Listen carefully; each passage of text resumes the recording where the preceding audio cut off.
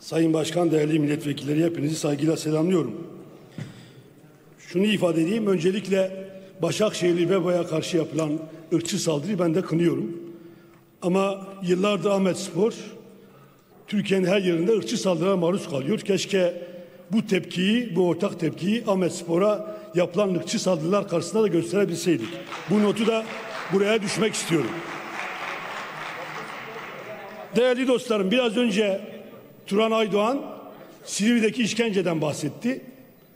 Dün gece tam saat 11.40'da annesi beni aradı, Kayseri'den aradı. Tam 7 dakika boyunca ağladı. Sayın Bakan telefonu bende var, isterseniz veririm size. Siz de ararsınız.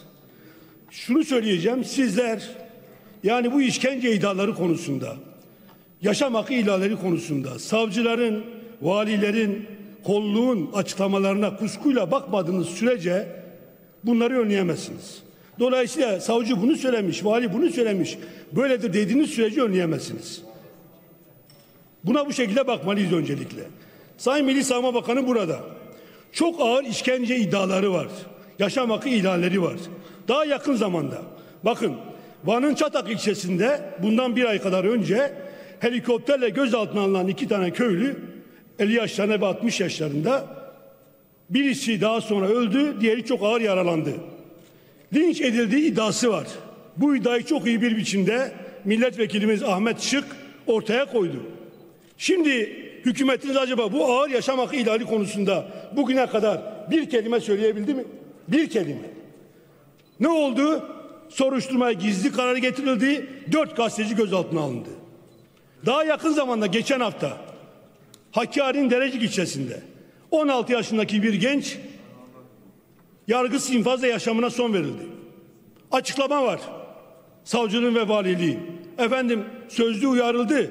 Uyarılara e, cevap vermediler. Sonra havaya atılan ateş sonucu yaşamını yitirdi. Ya bu çocuk kuş mu? Havada mı uçuyor? Bakın bunlar, bunlar çok ağır insan hakları ihlalleri ve tek kelime sizlerden gelmedi. Tek kelime.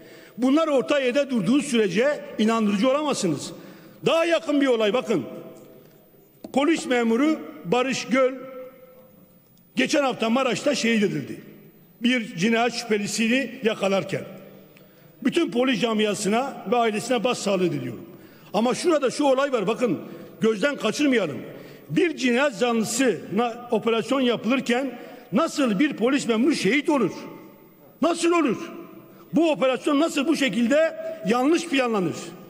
Polislerin canı bu kadar ucuz mu? Neden? Neden?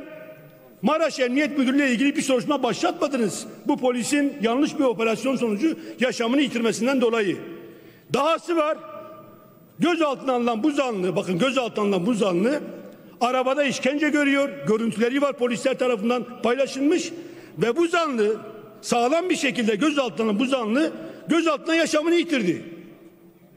Bakın bu çok ağır bir şey. Çok ağır.